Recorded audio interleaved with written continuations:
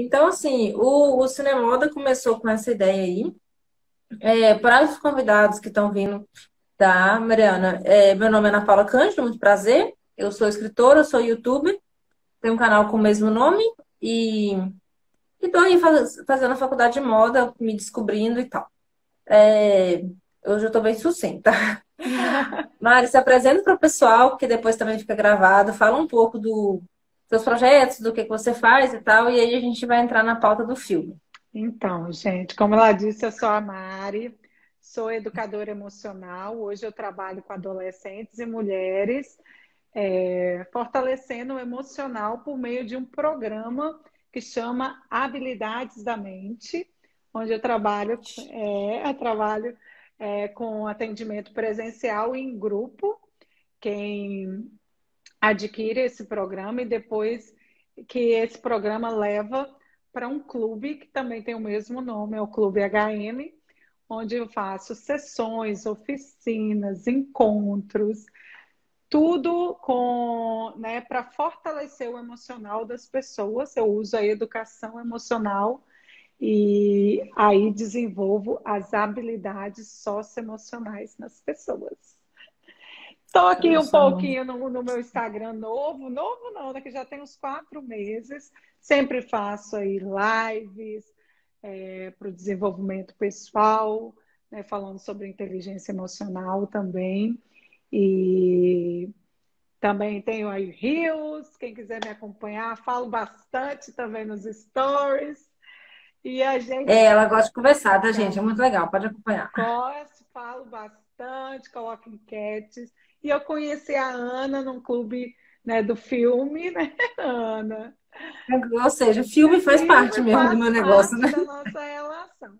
E hoje eu vou trazer um pouquinho aí da percepção do comportamento dessa personagem tão forte que é a Coco. E espero contribuir com vocês, dando essa visão aí sobre ela e como a gente pode aprender muito com o seu posicionamento. Isso. O filme, gente, é um dos motivos que me fez lembrar de trazer a Mari como convidada, uma foi porque a gente se conheceu num clube de um filme, né? Que era um grupo realmente que a gente só deu uma pausa por conta da pandemia, mas ficou online um tempo que a gente discutia filmes, então assim, eu já sei que é uma pessoa que entende que quando eu falo assim, vamos discutir um filme, aprofundar, viajar na maionese, eu sei que é da mesma vibe que é da minha turma. E também porque ela tem um pezinho na moda, porque eu já participei de um workshop de moda com ela e com a Bianca Jordão. Então, assim, é, você falou de. Acho que você falava de brand, não é? Isso. De... Eu falava sobre essência e marca pessoal. Isso, marca pessoal, eu tava querendo falar disso. Então, eu lembrei disso aí e falei, vai ser isso. Por isso que a gente escolheu o filme do Coco Chanel, para poder. Como que é importante, assim. O filme, gente, para quem não viu, é, geralmente eu passo a sinopse do filme, mas como esse é um filme biográfico, eu acho que não vai fazer muito sentido eu ficar falando da história do filme, porque a gente vai acabar citando durante a live. Mas basicamente é a história da Gabrielle, eu não sei falar, Chanel que é a Coco Chanel, que a gente conhece da marca tão icônica dos Cezinhos, né? Uhum. Então, assim, mostra é, como que ela, ela foi abandonada no orfanato, pelo orfanato não, é como chama? Coisa de... Internato, né? Ah, tipo, internato de, de católicos. Que é, tinha uma é, cara de internato. Né? Um Isso, uma coisa católica ali, pelo pai dela, a mãe dela tinha falecido, ela e a irmã, e, enfim, aí de repente elas eram jovens cantando no cabaré de noite e de dia elas eram costureiras. E você acredita, e gente? Eu achei daí... aquela transição tão assim, vaga, né? Do, da, da adolescência para a é, vida adulta? Da infância, adolescência, muito assim. Não achei. O filme, a primeira vez que eu vi, eu não gostei muito. Eu fui com muita expectativa, porque era um filme de uma história de um ícone de moda. Só que eu acho que por se tratar de uma história do século XIX, automaticamente ele tem que ser lento para mostrar como que na época as coisas. Mas aí eu fiquei assim, nossa, trem devagar, eu achei meio chato, né? Mas a segunda vez, eu não sei se é porque eu vi já pensando com os olhos do cinemoda, eu já gostei muito dessa segunda vez que eu vi. Eu falei, gente, a mulher é foda mesmo, né? Porque o que que é? A mulher extraiu o senhor do nada, Mas, porque não tem condição. ela É, sabe o que, que eu percebo? Que, que eles também foram. É foram pobres de mostrar algumas situações ali que eu acho que poderiam ser exploradas melhor porque valorizar mais, é né? porque ela é uma força, gente. Imagina uma mulher daquela época, 1852, né? 1883, eu acho que ela nasceu. É, eu não sou muito boa. A virada aí. É, muito novo. Eu também sou péssima. Então, mas assim, uma mulher que montou um império, lógico que é falando que é Coco antes Chanel, né? Mas que até hoje, gente, a gente assim é um sonho de consumo, por exemplo, é um sonho de consumo. ter uma bolsa daquela mulher. Gente. Eu nunca nem vi pessoalmente uma bolsa Chanel, menina. Eu, é, eu tô num nível que se eu pudesse ver o original, eu já tava feliz. Não, e aquela roupa que ela aparece no final também, né? Assim, como é que chama aquele conjuntinho? O tweed. É, é um dos mais desejados, né? Pessoas famosérrimas como a Jack lá do... Foi casada com presidente, né? Que mataram ele. Kennedy, lá, isso. É, ela usava muito e... dela também, né? Mas pode continuar hum. aí que eu. Não, então, assim, é, perguntar aí para o pessoal quem assistiu. É, como eu falei, né? Eu gostei pouco no começo, mas a segunda vez que eu vi eu gostei mais. É, eu, eu vou deixar você comentar primeiro o que, que você achou e eu vou pontuando algumas coisas. Eu anotei algumas cenas que eu achei mais marcantes. Olha só. Aí, à medida que você for falando, eu, eu vou comentando eu também. várias então, vou fazer assim, ó, pode falar, por favor. Não, mas assim. Eu só, só, eu, eu, mas, todo ouvidos. Mas eu notei questões é, da personalidade dela, não foi da moda em si, sabe? Então, bora. Sabe? Eu tá, falo tá, tá. e aí você coloca e a gente debate a moda. Primeira coisa, gente, é, ela veio de um, como a Ana disse, de um lar solitário, né? Não tinha lar, a mãe dela morreu, o pai dela era alcoólatra. Então, isso marcou muito a personalidade dela. Então, ela teve que ser forte desde criança para aguentar tudo isso que ela passou. E ela, em contrapartida, tinha a irmã, né? Que parece, né? Não, não ficou claro, né? Mas é, deu a entender que ela meio que era a cabeça ali, que era que ela que protegia a irmã, então ela também tem essa personalidade mais forte, é, de mais resolutiva, de, de resolver as coisas por conta desse, dessa infância solitária, de abandono que ela né, é, viveu. Você também teve essa impressão? Uhum. É. Ela teve que se fortalecer na marra, né? Se fortalecer na marra. Só que sabe o que, que eu acho bem bacana? Assim, embora no começo, gente, ela não soubesse do, o que ela queria que é, fazer da vida, porque ela queria cantar em Paris, né? Que era assim, é. O, é a vida dela, sabe o que, que eu gostei, assim? Mas também não, não, não foi uma coisa explorada pelo diretor ela viveu de pequenos sonhos até ela conseguir chegar né, no, no, no empreendimento dela grandioso. Qual era o primeiro sonho dela quando ela e a irmã mais jovem estavam. É, não era Paris que elas moravam, não. Qual era o lugar não. antes? Eu não lembro o lugar. Eu não lembro qual é, a cidade, mas não era Paris nem Londres. Não era Paris, é, não. Mora, próxima a Paris, vamos dizer assim, na França. Mas qual que era o hum. objetivo de vida, o sonho dela? E cantar em Paris. Então ela uhum. cantava num cabaré lá é, ruim, de uma cidadezinha qualquer que a gente não sabe o nome. E, ei, Leia, seja bem-vinda, querida. E aí, o que, que ela queria? Colocou na cabeça, teve um objetivo, né, um sonho de ir para Paris, cantar em Paris. Só que no meio desse uhum. processo, tudo mudou. E como ela teve uma resiliência, né? ela, ela sabia o que ela queria, mesmo a irmã dela não indo com ela para Paris, porque até então ela cantava com a irmã, e elas as duas tinham esse objetivo de irem juntas para Paris, e ela tinha que passar né, por um teste para ver se ela iria conseguir cantar lá no cabaré em Paris. É, mesmo a irmã não, não fazendo, ela seguiu o sonho e foi atrás, mas quebrou a cara. Só que ela era uma pessoa tão determinada, tão resiliente, que ela não se conteve e, e não desistiu. O que, que ela fez? Você pode intervir também, então. tá aí, Não, pode falar. É. O que, que ela fez, gente? Ela havia já conseguido. É, a pessoa que indicou ela foi um rapaz, não é um senhor, um homem. É o Bozo. É, Bozo. eu esqueci o nome dele, sou horrível com o nome também. É, eu também, ainda mais É, esses nomes diferentes, nomes franceses, assim, não, não a minha língua não, não consegue. Mas esse homem que indicou para né, que ela fizesse o teste para esse cabaré em Paris, ele morava próximo a Paris e também ia morar próximo à irmã dela, que ia ser meio que amante de um, Uhum. de um conde, né? Era conde, né? É, De um, um barão. De um barão. De um barão. E ela esperava que o barão casasse com ela. Isso aí. Mas, né? Mas a gente sabe que é a conta da carochinha, né? E aí, gente, Coco analisou, ficou pensando, não queria que o sonho morresse, partiu para Paris. Até então, para o quê? Ela não sabia muito bem o que ela queria fazer pós é, não ser aceita no, no cabaré. É, o que ela sabia é quero morar em Paris. E partiu para lá com, um, é, com um plano, né, ô, ô Ana?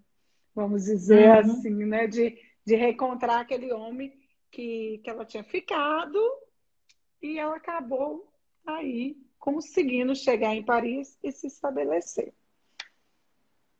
Vai, Ana, agora você Uhum. pode dar também. O... Puxando para o lado da moda, então, uma das coisas que, que no, essa semana, ontem eu postei no Instagram sobre as coisas que a Coco Chanel trouxe para gente, né? Uhum. Das contribuições, né? Uma das contribuições que ela teve foi a, a calça para mulheres que antes a gente não tinha, tem uma cena específica para a gente falar disso. Os cabelos curtos, que hoje a gente tem o corte Chanel. Eu falo, gente, a mulher virou um nome de corte, a mulher é muito É. top. Os cardigans, os tweeds que a gente falou, o pretinho básico e os bolsos.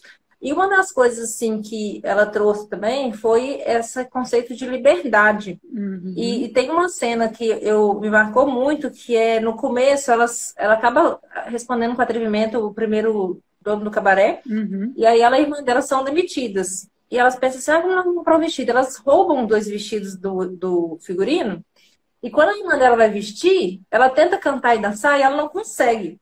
E aí a Coco vai lá e fala, não, mas você não tem como, você precisa de espaço dentro do vestido. Aumenta uns 10 centímetros, ela rasga o vestido por dentro, ela corta, ela faz uma confusão. Então, assim, já era ela mostrando a revolução de acabar com esse partilho. É. Lá na frente, quando ela faz a, uma fantasia de órfão para um, a atriz que ajudou ela também no processo, a mulher falou assim, mas tá muito largo, tá sem, tá sem espartilho, eu não tô me sentindo.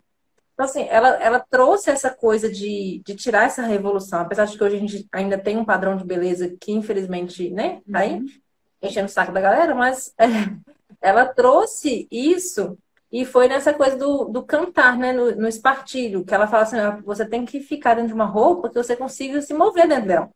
E as mulheres daquela época realmente andavam com as bonequinhas É. assim, né? E, é- e isso gostei- faz parte da característica da personalidade dela, Ana. Porque ela é, foi uma mulher Ela buscava liberdade, né? li- liberdade e ousada.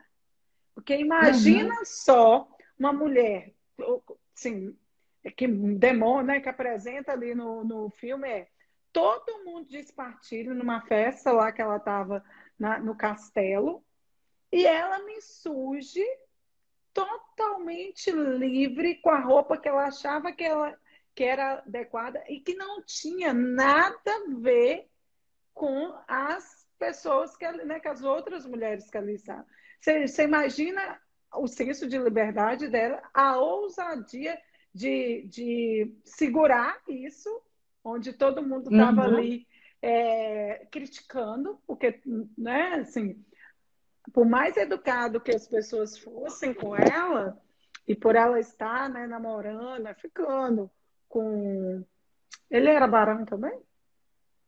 Não, o outro acho que era só um comerciante, o que ela apaixonou mesmo, Não, o, o outro. Que ela, o Bolzon, é o o que era o dono do é, o castelo. dono do castelo. Não, Era não ficou claro que ele era. não sei o que que ele. Não sei se ele era barão, mas era uma coisa tão importante Muito quanto. Porque na importante. primeira cena eles estão com, com a roupa lá, né? É. Com a...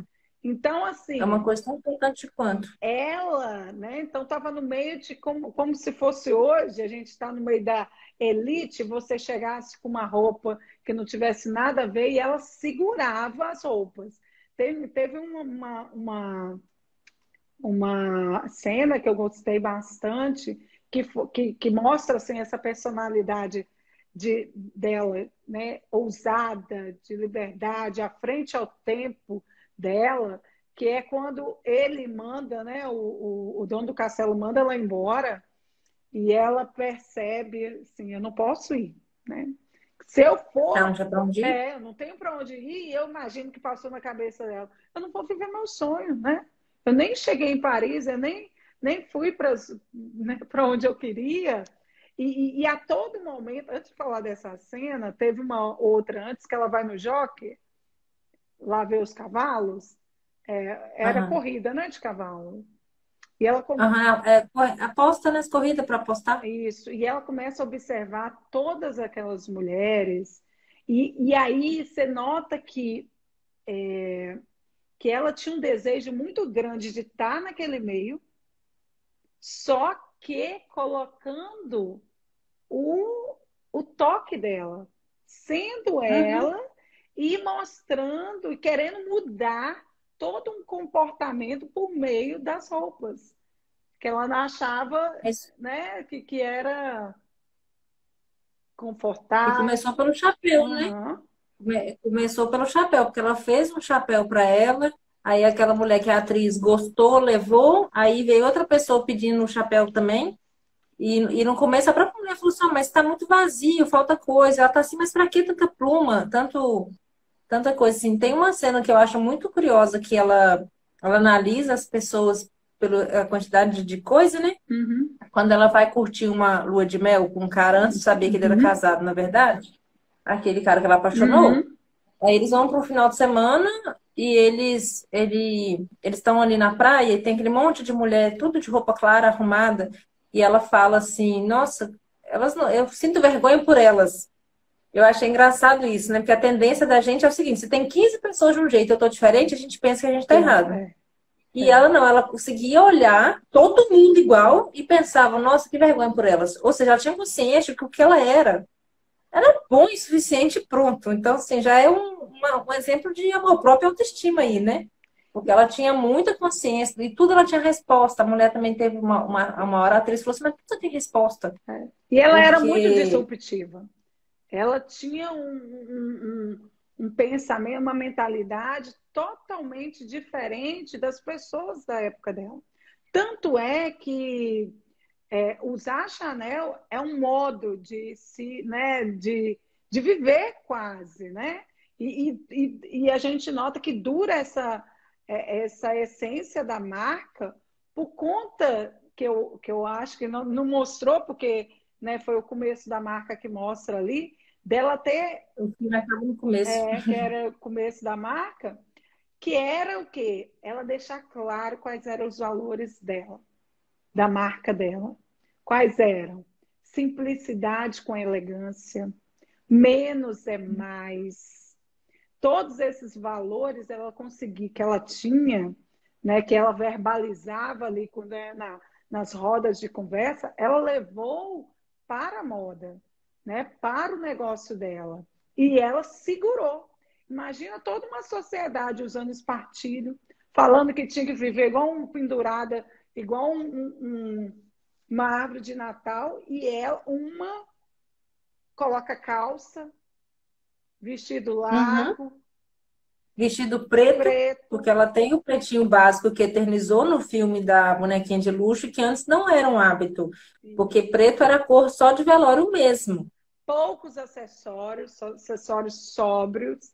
Então, ela foi assim, é, se, eu, se, a gente fosse falar assim, de, de valores de uma marca que dura, eu nunca vi um, né, não sou estudiosa de marcas, mas o valor da marca dela dura a mesma coisa. Você pode ver uma bolsa Chanel, a bolsa preta, né, Chanel com a corrente, ela foi criada pra, pela para mulher do presidente, né? Se eu não me engano, né, Ana? Eu não sei direito. Não conheço muito a história da, da bolsa em si, não. Eu só sei que é a bolsa clássica, que quando a gente olha, é aquela coisa, todo mundo é. sabe que é uma Chanel. Isso. O sapato também, né, com aquele bico preto, porque ela tinha pé, os pés grandes, se eu não me engano, e ela fez. Só a pontinha, né? É, a pontinha para dar a impressão que o pé era menor. Adoro, super me identifico com essa parte. me identifico, só quero sapatos com pontinhas pretas. E a parte curiosa é que, que uma coisa que eu acho interessante, assim, como que ela, o pensamento dela era livre e ao mesmo tempo ele era óbvio, né? Tipo, ela questionava as coisas sem medo, igual a cena do, da roupa do cavalo. Primeira vez que ela tenta montar o cavalo, eles falam que tem que ser de ladinho. Uhum. Ela fala, não dá para sentar, não dá para ir de ladinho. Aí ela sentou de jeito normal, de vestido. Sim. Porque mulher tinha que sentar de ladinho, porque mulher não usava calça. Então, na segunda vez que ela quis impressionar, que aí ela falou que estava indo embora, mas na verdade não foi, uhum. ela desviou do, do, do, do motorista, a Folé pegou a roupa dele, cortou, ainda, ainda deu a ousadia de cortar a gravatinha, porque um macio curto. Aquela cena dela cortando a gravatinha eu achei maravilhosa. É. Tipo assim, já fez um negócio diferente, mas eu quero assim. E falou e cortou a gravatinha. E quando a, a mulher, a, a atriz, lá no final desse piquenique, vai subir e ver que ela tá de calça, subiu uma raba no cavalo, ela falou assim, realmente não dá pra andar assim, não? não então, assim, o que ela fez foi observar o óbvio, porque andar de cavalo de ladinho é difícil. Olha, você falou uma coisa interessante. Também não tinha o que, que ela fez? Ela, ela buscava, você vê que ela observa todo momento, ela buscava os problemas e aí resolveu os problemas uhum. por meio da moda. Então, assim, é. ela eu, eu, assim, eu não. Se eu falar que foi um filme que eu gostei, não foi. Eu acho. É, o filme. Ele é muito. Para mim, faltou, é. assim. É, ele é meio em retalhos, né? Eu, uhum. Ele não dá aquela continuidade que eu gosto. Mas... Quase virava um documentário, né? É, Quase que virou um documentário. É, sim. Mais um pouquinho ficava chatão documentário. Isso. E aí, que que eu. Mas, assim, e por ela ser um ícone e por essa personalidade dela, eu acho que eles poderiam ter explorado mais. Mas é aquilo, ela via, ela tinha um problema com a roupa, observava uhum. e procurava uma solução. Olha, você é mais empreendedora? Todo. Não existe, né? É, o, a característica empreendedora dela é muito inspiradora nesse aspecto. E uma das cenas também, das, uma das primeiras festas que ela vai, ele deu um vestido florido, não sei o que, para ela usar, e ela foi andando e olhava aquele laço atrás e não sei o que. Ela foi lá e pegou uma camisa branca dele e terminou de fazer com o vestido xadrez. Chegou lá, uma marmota lá embaixo. Aquele eu não gostei muito, não. Mas assim, aí ele perguntou, cadê o vestido? Ele falou assim, tá junto com as cortinas, que ela parece uma cortina o vestido. Então, ela, ela, igual você falou, né? ela resolvia os problemas. Ela não estava bem no vestido, ela arrumou outro. Ela tentou cavalgar, não conseguiu, ela arrumou outra roupa. Uhum. E simplesmente assim. Ela quer um chapéu mais simples, ela fez. Mas você ela sabe o que, que, eu, que eu percebi? Assim, não sei se você teve essa impressão. Ela queria que, na verdade, quem aparecesse fosse a mulher e não os acessórios. Você vê que, ela, uhum. que a primeira cena que, né, que ela vai mostrar o que ela fez, que é o chapéu, que a menina fala, ah, deixa eu experimentar esse chapéu, que é aquela cantora, né, lá na casa ainda, no castelo, que ela coloca o chapéu sem nada, sem nenhuma pluma. Ela fala assim, quando ela tira o chapéu de pluma, né, da, e vai colocar o chapéu dela simples, né, clean, vamos dizer assim, ela fala assim, nossa, o seu rosto é tão bonito. Por quê? As hum. pessoas, você não conseguia ver o rosto da pessoa como que era o é. corpo de verdade da pessoa. Você não conseguia tocar no corpo da pessoa. Né? O homem né, ia tocar o quê? Ele tocava em espartilha, ele tocava em ferro. Ele não tocava no corpo. Então, acho que ela queria também, é, não deixa claro né, ali o filme, mas é que a mulher viesse, né, parecesse mais do que os acessórios que ela usava. É porque como ela, ela simplificou muita coisa, fica parecendo, para quem quer fazer polêmica, como doce, fica parecendo que, tipo assim, ela estava contra as mulheres. Né? Ela não quer que a mulher use calça para parecer homem. Ela não quer que a mulher use espartilho para não ficar sensual. Mas, na verdade, é isso. Ela só queria que a mulher fosse mulher, realçasse a beleza dela pelo que ela era.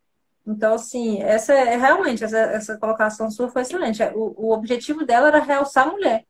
Tanto é que eu vejo, assim, nas cenas finais que mostra ela grande no ateliê dela, com vários funcionários, uhum. tem uma cena que eu achei muito curiosa. Que no final, uma das, das últimas cenas, ela estava costurando um vestido com um leve babado na barra, uhum. mas era um vestido claro, rosa. Uhum. E eu achei assim curioso, assim, porque no começo meio que ela parecia que ela tinha ranço de. Esse negócio tá ligado aqui, meu Deus ela parecia meio que tinha ranço de babado de coisa. Não, mas eu entendi assim que como empreendedora ela conseguiu adaptar e criar produtos, mas é isso, ela estava fazendo um vestido simples, romântico do mesmo jeito, mas que não deixasse de não realçar a beleza da mulher. E você percebeu ela conseguiu... que ela até os acessórios ela começou a usar, né? Também. Ela... É, porque ela não usava é. nada. Depois que a pérola foi chegando na vida dela e tal. Mas eu acho a que pérola... é assim, uma coisa que também chamou ela foi colocando elementos de elegância na marca dela, sabe? Porque, assim, uhum. Uma frase que, que aquele rapaz que ela se apaixonou sempre falava com ela, ele elogiava muito ela, falava assim com ela: Você é elegante, é, você não tem medo de nada, você escolhe uhum. a simplicidade. E aí, o que, que ela trouxe? Ela construiu a marca dela em cima dessa elegância em cima desse dessa ousadia, né, de desbravar, de não ter medo, a mulher poder se mostrar, mas com simplicidade. Só que ela foi para alta costura. E quando você vai para uma alta costura, você tem que colocar, né, é, né, você, né, ela desde o começo, ela soube muito bem para que público ela ia falar, né? Ela uhum. não costurou para a, a, a classe menos favorecida. Ela costurou desde o início para elite. Então, uhum. mesmo ela, é, é, ela tendo essa consciência da simplicidade, você pode ver que depois do chapéu, né, os chapéus dela teve alguns arranjinhos, teve algumas uns lacinhos. Porque ela é, percebeu enquanto empreendedora que ela teria que colocar certos pontos para tornar essa simplicidade, né? trabalhar essa simplicidade, mas com sofisticação, que é o que a marca traz, e elegância. Mas uhum. com aquele conceito que menos é mais. E é aquela coisa de como que a gente for analisar, né, nas histórias que a gente escuta, às vezes, a gente vai a nossa própria história. É, mesmo ela tendo vindo lá da pobreza, não sei mais o quê, em nenhum momento ela se sentiu menos capaz. Ela já focou na galera top, lá no é. alto e pronto, e sou capaz, é o meu estilo. Ela não ficou assim, achando que ela não dava conta, porque ah, eu vim da pobreza, eu não vou saber fazer coisa chique. Ela só tinha consciência de que o que eu faço é ela é chique era, mesmo. E pronto. Ela sabia para o que ela, tanto que ela queria, talvez ela não soubesse no início, ah, quero costurar só chapéu, quero costurar roupa. Você vê que ela dá uma patinada aí entre roupas uhum. e chapéu, mas assim, a moda, né, é, é, o que ela queria trabalhar. Mas tem aquela cena lá no Jockey, na aposta, que ela vira para a irmã e fala assim: um dia vão se matar para jantar à nossa mesa. Ela fala essa frase. A mulher já visualizava o que ela queria para a vida dela. O que ela iria fazer. Quer dizer, eu nasci pobre, nós estamos aqui, mas eu, mas eu, você é muito grande. E aí, falando de, de, desse comportamento empreendedor dela, ela tinha visualização do negócio dela, onde ela queria chegar com, a, com aquilo que ela desenvolvia ela tinha muito demarcado o brand dela, né? Mesmo você podia não concordar com a simplicidade, com menos é mais, mas ela segurava isso e eram os, uhum. são os valores da marca até hoje, que é elegância, sofisticação, ousadia e liberdade. Ela é, não mediu esforços para chegar onde ela queria. Se ela tivesse que se humilhar, igual ela teve que se humilhar para ficar lá na casa do, do, do homem lá. Depois, é, depois, ela aceitou a ajuda do amante lá. Então, você vê que a todo momento, o que era mais importante para ela era o sonho dela, o negócio dela. E se para isso ela tivesse que, às vezes, é, aguentar certas coisas, ela aguentaria para viver o sonho dela, porque ela estava muito claro na mente dela o que ela queria da vida e como ela queria é, se tornar uma pessoa bem-sucedida. Então, trazendo isso para a gente, né, quantas vezes a gente não quer submeter-se a algumas coisas para alcançar algo que a gente deseja e almeja. Então, para você ter uma marca, né? Eu não falo nem uma marca de sucesso como a da Chanel, né? porque assim, a gente pode ter? Pode. Mas não, né? não é tão fácil assim. Mas é, a gente desiste muito fácil. E olha só, aquela mulher naquela época, olha o que ela fez para viver um sonho. E a gente, na época que a gente está, onde está tudo disponível para a gente, onde a mulher hoje, né, por mais desafios que a gente tem, a gente está aí é, com força né, total para assumir a maioria das coisas que a gente deseja e a gente desiste. Com as pequenas é, é empecilhos. Tem uma, uma cena dessas também dela, mais o, o homem lá que ela era apaixonada, que eu achei muito curioso. Como que, apesar de que parece que teve uma hora que eles deram um salto na história, que, que faz essa coisa que a gente comentou, da vezes o filme não fica agradável, né? Que aí de repente ela decide que ela vai para Paris costurar. Aí ele fala assim: ah, mas você não tem dinheiro. Ela falou assim: vou montar minha loja. Ela falou: peço alguém. E aí ele, o homem oferece, né? Eu vou te emprestar. Uhum. E realmente ele empresta e quando mostra, dá um pulo na história, a loja dela já tá bombando. É? E tipo assim, aí eles contaram a história e deixa a gente sem saber, né? é. né? Mas enfim. Os e aí é, tem. Perrengue, né, gente? É, cortaram os perrengues, mas tá bom. O trem deu certo, como diz o outro. É uma SA é. até hoje.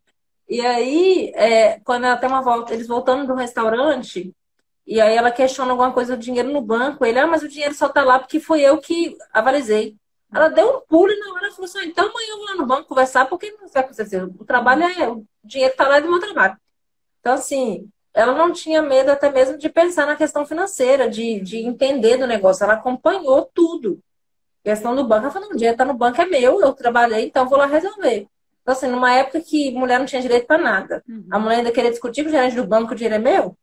Então, assim, ela conseguiu ser ousada em todos, todos os aspectos, todos. todos. Menina, tá precisando pegar para vontade da Gente, eu olhei aquele filme ontem, que eu, eu tinha visto ele, né?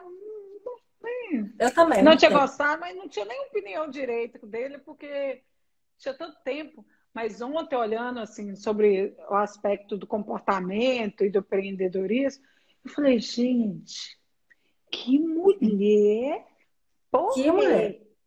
Quando eu comecei a ver eu as datas, como eu falei assim, não, há tanto tempo atrás, mais 100 anos, o negócio está durando até hoje. Eu fiquei pensando é. assim, eu, eu penso em mim, o que, que eu tô fazendo?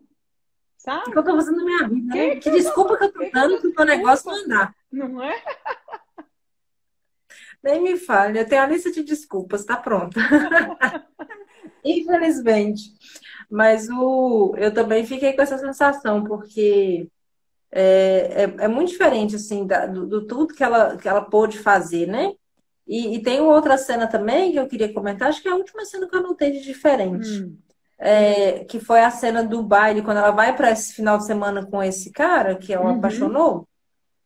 Ah, depois eu falo mais um negócio sobre essa cena desse cara, né? Mas ela vai pro baile uhum. e aí ela, ela fala que não tem roupa e ele leva ela numa loja de tecido e pelo uhum. que eu entendi foi o alfaiate ali que fez o vestido e o alfaiate quis fazer com esse partido, ela falou, não quero. Uhum. Ela queria, ele queria, ela queria uma, ela falava assim, pensa numa cor que seja só uma cor. Uhum. Ela justificando o preto, né? Porque uhum. Aí ela faz o vestido preto com uma, ela pede um decote maior aqui, bota uma renda uhum. e aí no baile eles estão dançando e tá todo mundo de branquinho em volta é. e só ela de preto. Aí todo mundo olha para ela. Aí ela ela fala com ele dançando, todas as mulheres olham para você. É. Ele não, é o contrário, todas as mulheres olham para você. Uhum. Então, assim, ela teve a ousadia de vestir o preto, que é. era a roupa de, de, velório, num baile importante. Uhum. E sem espartilho. Então, assim, como que ela foi ousada? Agora, uma coisa que, falando lá do relacionamento deles, foi muito engraçado. Porque é, o, o Bolzon contou antes dele que, que o cara, na verdade, ia casar. Aí o que, que ela fez? Em vez de pagar de vídeo para nunca mais, ela se posicionou e já foi falando assim, ó, eu que não quero casar com ninguém. Eu achei aquilo muito curioso, porque ela que virou e começou a puxar assunto com ele e falou, eu não quero casar. Então, assim, ao invés de sofrer a humilhação de descobrir que ela ia ser a outra, ela já se posicionou, tipo assim, já que eu vou ser a outra, eu vou ser porque eu quero, não porque me fizeram. Mas você tipo sabe assim, ali eu vi assim... isso. Eu... E ela nunca casou mesmo, ela morreu sem casar. Morreu sem casar. Mas você sabe que, que eu, analisando, né, assim, é, que que aquela disso? situação Conte. ali, ela já estava claro do que ela ia fazer da vida dela. Tipo assim. Ela não precisava de homem, não, né? Só precisava de dinheiro. É, é, não que ela não gostasse dele, que ela amava, mas eu acho que na é, cabeça dela ela estava pensando assim: como é que eu vou casar e sendo que tem um desejo empreender e trabalhar, porque a todo momento, o que, que ela falava? Quero trabalhar. Quero trabalhar. Quero trabalhar. E ninguém entendia o que, ela queria trabalhar. Quem era, né, casava com gente que tinha posses, não trabalhava, não. Se até os homens, uhum. nem os homens que tinham dinheiro não trabalhavam, a mulher do cara que tinha dinheiro não trabalhava. E ali, quando ele coloca para ela, né, que ele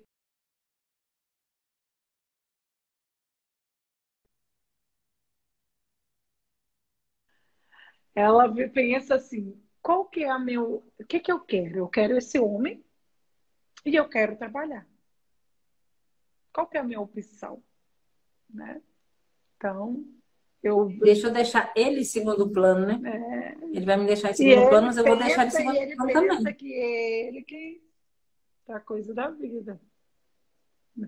É, eu gostei muito dessa cena, quando eu vi que no fundo ela pegou, ela ficou com raiva, não acreditou, mas depois foi lá e ela reverteu a situação antes de descobrir que ela era, que ela era a outra. Ela se posicionou e pronto, porque para o meu negócio dar certo eu tenho que ser assim mesmo. E falou, ah, gente, mulher interessante. Mas já era uma característica dela. Olha o contexto. Tipo assim, as histórias antes que ela contava. Ela sempre contou a historinha da carochinha para conseguir o que ela queria. Lá, o que, que ela uhum. quando ela conheceu o homem do castelo? Não, minha irmã não sofre, não. A gente é acostumado, uhum. contou uma historinha para ele. Quando ela... O negócio de comer lá, a gente comia isso sempre. sempre.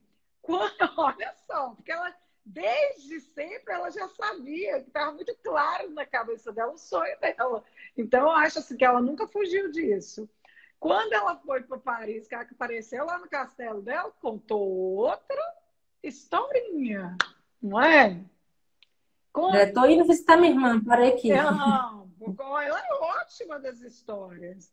Quando ela também foi embora, apareceu lá no, no cabaré, teve que voltar, contou outras histórias. E agora você acha que com o homem lá, falando que ia casar com outro, ela não queria perder tudo aquilo, não queria casar com o homem do castelo. Ela fez o quê?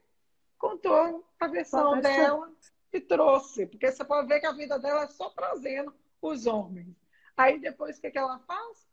Vou para Paris, aí o outro já fala, ai meu Deus, eu tenho que casar com essa mulher. Aí o outro, vou ajudar essa mulher, que ela é muito batalhadora. Então, tudo foi ter, nela ter seus histórias de acordo com o que favorecesse o sonho dela em todos os momentos, não só nessa cena. É, com certeza. Nossa, foi a gente tá, como estou tirando leite de pedra aqui, mas o, depois que a gente vê o filme pelo olhar do empreendedorismo, a gente vê como que realmente é, valeu a pena. Você tem mais alguma cena que você quer comentar? Deixa eu, tá? eu, eu não está parecendo que é marcação para mim do, do, tempo, só que eu tenho a impressão de que deve estar tá chegando perto de uma hora, não tá? Acho que sim. Que a gente começou. É, a gente Acho fala pra caramba, sim. né? Se deixar, acho que até amanhã. Menina, de cena, não.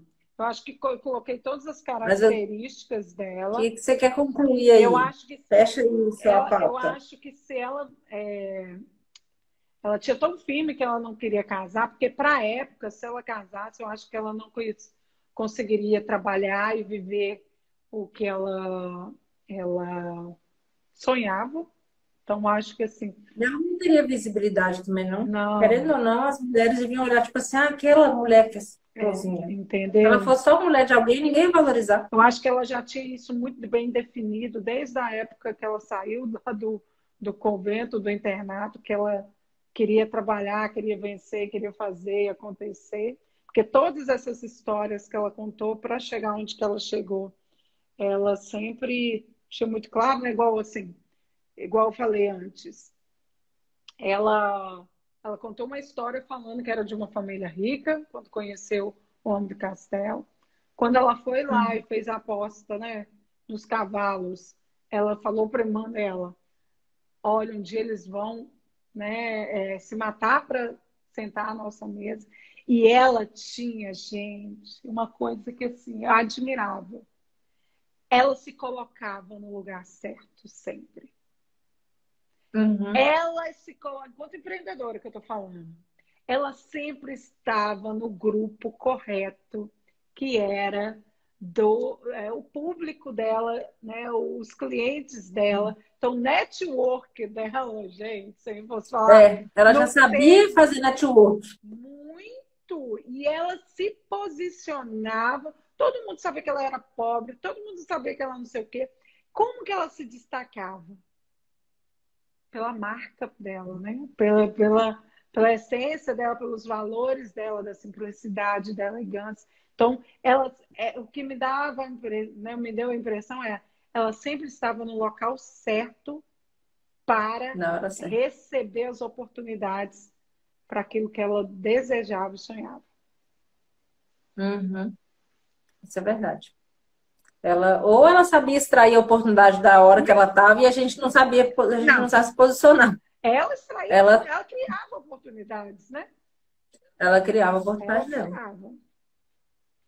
Nem que seja fugindo dos outros ou fingindo que tá fugindo, né? Uhum. Uma, ah, tem cena também interessante do que você comentou que ela, ela tolerava o que precisava. Quando o dia que ela aconteceu alguma coisa lá com o Bolsonaro, que ela ficou com raiva, ela pegou a mala e foi lá encontrar com a atriz na, no, no teatro. Uhum. E aí a atriz que dá a dica para ela assim: você falou que tá fugindo? Ela não, então volta, fala que foi eu que te chamei.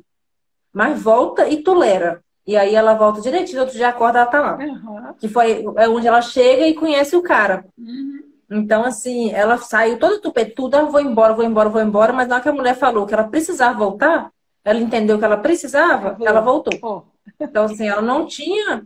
Ela parecia ser uma pessoa orgulhosa, mas ela tolerava o que precisava. Então, não precisava, ela engolia o orgulho e resolvia. Então, assim, é uma cena bem marcante isso também do, dela, dela topar voltar. E, e, a mulher, tipo assim, no começo meio que debochava dela, mas no final tava ajudando, né? Falou assim, ah, vai e fala, fala que eu te chamei. Uhum. Então, assim, usa meu nome, tô te ajudando. É. Né? Porque ela não tinha desculpa pra falar assim, ah, vou embora de mala, voltei. É. E era engraçado como que ele sabia que ela estava precisando de ajuda e fingir que não estava. Eu fazia dó, tipo assim, não, vai ver que estava cuidando dela também, sabe? Era, era engraçado, assim, era meio bizarro. É, porque assim, se você fosse pensar o perfil dos homens daquela época, era de proteger a mulher, né? Então, é, assim. Só que era uma mistura, parecia que ele protegia como, como se fosse uma filha em alguns é. momentos, sendo que ele não via ela como filha, porque pegava ela de vez em quando. Então, assim, era um priminho, uma relação Mas, meio assustadora. Era Paris, assim. ué, você, você já viu outros filmes de Paris, como que o povo era, né? Liberdade, era é. época da Vixe, é, o cigarro lá o tempo todo, né? Que é, é. uma coisa pouco comum pra gente hoje. A mulher tá lá fazendo a bainha do vestido da outra com fumaça na cara. Meu Deus, como que faz isso? É, mas na época era super ok. Eu acho que foi assim até a década de 60, né? Se a gente vê os filmes, eu lembro uhum. do, do meu avô fumando em qualquer lugar, gente. Agora que é, ficou nossa. politicamente incorreto, né? É, e faz mal para a saúde também, né? Faz. É, na verdade é porque descobriu que faz mal, né? Entre aspas. É. Mas enfim, Mara, você tem mais alguma coisa para concluir? Acho que não, acho que eu falei tudo, tá? Dessa personalidade dela, dessa questão. É... Já exaltamos Coco Chanel. Acho. Até eu dizer que chega. Ela pode ter cometido vários erros, mas eu vou falar com você. Como é que você não tem nem o que falar de uma marca que dura até hoje de uma mulher, na, na época que a mulher não fazia nada, a mulher. Vestiu uma calça e andou no cavalo. É, é a ousadia da ousadia. Não, mas eu não sei nem o que dizer. mais que ela. Acho que é só a gente ó, se inspirar. É, ela acelerou o processo. É, que eu acho assim, que a calça jeans para mulher nunca vai cair de moda. Olha só. Uhum. Entendeu? Nunca. Aquela bolsa dela você compra de um valor, passa 10, 15 anos, você vende do mesmo valor e mais caro ainda. Sabe? É. Então. Bolsa. O que, que você vai fazer? Fora os outros produtos. Ah, também tem a questão do. Na pesquisa que eu fiz também falou do questão do perfume. Ela foi a primeira estilista a ter um perfume com o nome dela. Com, com o nome dela. E eu vi aqui na, no, na Wikipédia, para a gente fechar com chave de ouro, uhum. que ela é a única estilista presente na lista das 100 pessoas mais importantes do século XX. Então, a gente tem 100 pessoas em um século e a única estilista é Coco Chanel. Então, assim, a gente não está falando de qualquer pessoa. É, aqui, ó, Gabriela Banheiro. Bom, eu, como que fala isso, meu Deus? Chanel. Chanel, vamos começar. É Chanel, é Coco Chanel. É por isso que eu pensei assim, que filme pobre para uma personalidade como essa pessoa. Uma personalidade é, porque como essa pessoa, na verdade é, isso. Né? Personalidade como essa a, a, a pessoa merecia mais. Filme? Existe outro filme da Coco? Não, não conheço. Não. Eu sei que tem um livro que a minha amiga até me uhum. marcou ontem e está na minha lista de livro para ler, que é o Evangelho da Coco Chanel. Uhum. Porque eu assim... pretendo ler assim em breve. Ai, gente, porque deveria, tá? Contar mais. Porque. É, como, como, como é o contato. Ficou até o começo. Poderia. Eu queria mais. Eu, assim, depois que eu assisti, eu falei assim, ah, gente, queria sentar e bater um papo com ela. Falar assim, minha filha, como é que você fez isso? Como é que você pensou nessa coisa? Entendeu? Você teve força para continuar? Para continuar, ó, já pensou, gente? Mas eu acho que deve ser característica desse tipo de filme biográfico, porque tem o filme do Disney também, o Alt antes do Disney. Ah, eu vi também. Eu vi também, eu achei uma bosta. Ai, deve ser o mesmo. É pior do que o da Chanel. Não? Hã? Mesmo diretor? Mesmo. Será que não? Não sei. Eu é sei que eu achei antes... entediante do mesmo Ah, eu também vi aqui. É, o Alt antes do Disney, eu também achei chato mesmo tanto. E aquela coisa, acaba na hora que a empresa vira uma grande empresa. Mas ali, pelo né? menos, mostra os perrengues dele, né? Que nada dá certo. Da Coco eu não vi. Será que ela não teve perrengue? É, não sei. Mas eu acho que ela não teve muito perrengue mesmo. O único perrengue que ela teve foi realmente se colocar nesses ambientes e aguentar esse povo, né? Mas assim, depois aquele homem, eu acho que colocou bastante grana para ela, tá? É, ou seja, ela, o perrengue valeu a pena, né? Muito, você tá doido? Eu tenho um investidor daqui aí. Um, investidor, um investidor rico, bonito e bom de cama. o que a gente quer, mas... Gente, vamos encerrar essa live, porque se eu tivesse bebendo uma coisa, o trem tava piorando aqui. O que, que, a gente quer mais da vida, gente? Ai, gente. Olha, então, Mário, muito obrigada por aceitar o convite, por ter contribuído aqui. É uma live que demanda um pouco de tempo, a pessoa tem que assistir filme antes. Então, assim, não é só a sua hora daqui, foi as suas duas horas de ontem também para assistir o filme. Muito obrigada pela contribuição. Pessoal que me segue, não conhece o trabalho da Mari, vai lá conhecer, tenho certeza que vocês vão gostar. Ela é ótima. Muitas reflexões para os nossos domingos de manhã tomando café, olhando para a praia, né? Bandida, olhando para a praia ainda, cá de praia. Ficou olhando para a praia e gravando história para gente. É, mas olha onde que eu tô. Tô no, no escritório até agora, ó. É isso aí. Então pode despedir do pessoal e é isso. Oi, gente, muito obrigada para quem né, ficou até agora, quem vai assistir depois.